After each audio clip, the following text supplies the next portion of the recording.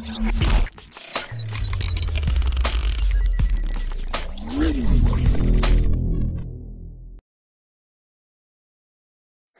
Friends sports பற்றின செய்திகளை தெரிஞ்சுக்க தமிழ் கிரிக்கெட் சேனலை சப்ஸ்கிரைப் பண்ணுங்க. சென்னை சூப்பர் கிங்ஸ் அணியில காயம் காரணமா நிறைய வீரர்கள் அணியை விட்டு விலகியிருக்காங்க. இந்த விஷயம் ரசிகர்களுக்கு வருத்தத்தை கொடுக்கறது மட்டும் இல்லாம அணிக்கும் ஒரு மிகப்பெரிய நெருக்கடி கொடுத்திருக்கு.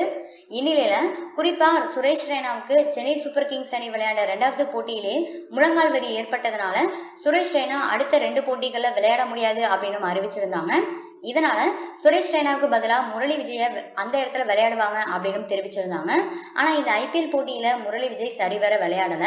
இந்நிலையில சென்னை சூப்பர் கிங்ஸ் அணியோட கேப்டன் தோனிக்கும் முதுகு வலி ஏற்பட்டிருக்கு. முதுகு வலியால ரொம்பவே அவஸ்தப்பட்டுட்டு வராங்க.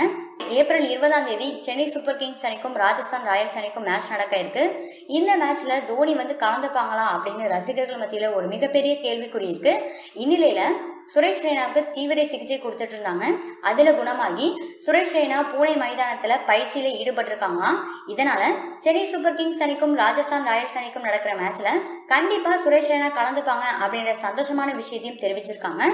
இந்த விஷயம் சென்னை சூப்பர் கிங்ஸ் ரசிகர்களுக்கு புது உற்சாகத்தையும் ரொம்ப பெரிய சந்தோஷத்தையும் கொடுத்திருக்கு.